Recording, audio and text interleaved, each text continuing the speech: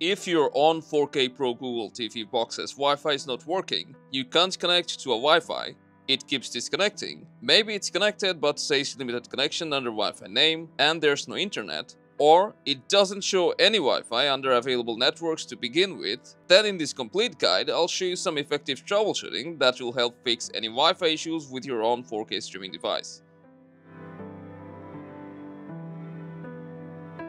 First of all, if your ONN streaming player is connected to Wi-Fi, but it keeps disconnecting, or there's no internet even if you're connected, and it says limited connection, then the first thing you should try is forgetting and reconnecting to your Wi-Fi.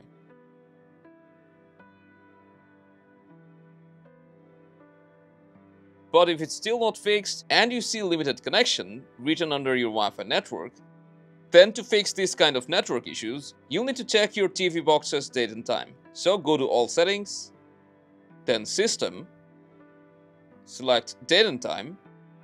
From here, if you see your date or time is incorrect, you can either turn on network provided time, and if it's still not correct, then you can also change it manually.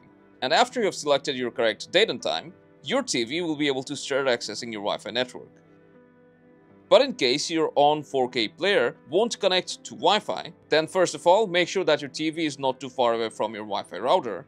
And after that, you can cold boot your ONN TV box and your router. Just unplug them from power, wait for around 5 minutes, then plug them back in. Now try connecting back to Wi-Fi, and if it still doesn't work, in case your Wi-Fi router has dual band enabled, which is 2.4G and 5G, you can try switching between them and see if the other one works. If none of the bands work, then try connecting to a different router or your smartphone's hotspot.